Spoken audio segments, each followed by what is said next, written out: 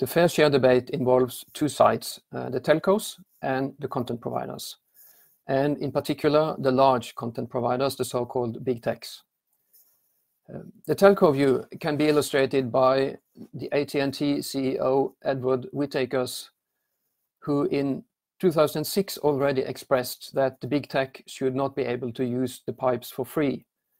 This is similar to the argument today that big techs should be obliged to provide fair contributions. The content provider's view, on the other hand, is that telcos are actually selling empty pipes. So you need something to fill the pipes with. The demand for content is therefore driving the demand for capacity.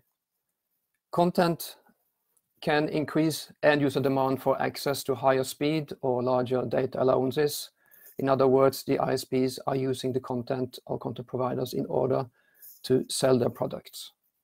So there is a mutual interdependence between telcos and content providers in, in my understanding. And as BEREC expressed uh, in the preliminary assessment, telco customers are downloading content it's not content providers that are generating the content as, as such. The telco customers already pay for the internet access to download this content. But also content providers pay for distributing content on the server side.